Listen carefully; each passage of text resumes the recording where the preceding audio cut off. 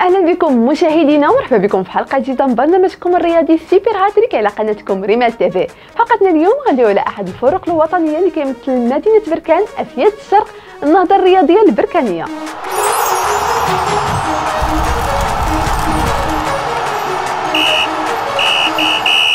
واش كنتي عارف ان فريق نهضه بركان اللي تأسس كان سميتو الجمعية الرياضية البركانية ومن بعد تبدل الاسم ديالو الاتحاد الإسلامي البركاني. ومن موراها ظهر فريق جديد في بركان اللي كان الاسم ديالو الشباب الرياضي البركاني. ومن بعد خمس سنين من التباري بين هاد الفرق اندمجوا الفريقين باش يعطيونا ممثل واحد لمدينة بركان واللي هو فريق النهضة الرياضية البركانية.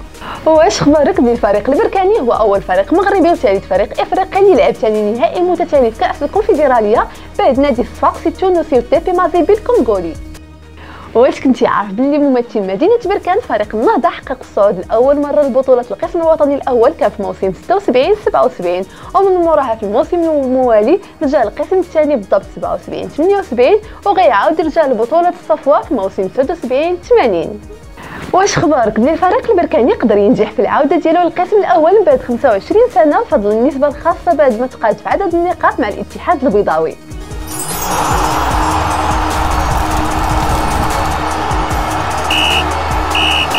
واش كنتي عارف بلي كتعتبر سنة 2012 سنة تاريخية عند النادي البركاني حتى من اختياره كأنجح نادي في المغرب. بعد ما حقق لقب في كرة السلة وآخر في كرة اليد وحقق فارق في كرة القدم الصعود.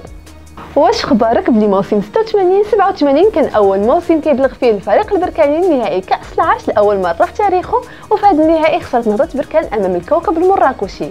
واش كنتي عارف بلي النادي البركاني من بين الأندية اللي عطات برزات العديد من اللاعبين والكفاءات الفردية بحال البرازي الزروالي وصحابه والسراج والكابي والعديد من الأسماء. واش خبارك بلي ملوك الشرق سبق ليهم وشاركوا في كأس الاتحاد الإفريقي زوج ديال المرات ولعبوا نهائي كأس العرش هي جوج ديال المرات واحتلوا وصفات الدوري في الثمانينيات خلف المغرب الفاسي بفرق الأهداف فقط.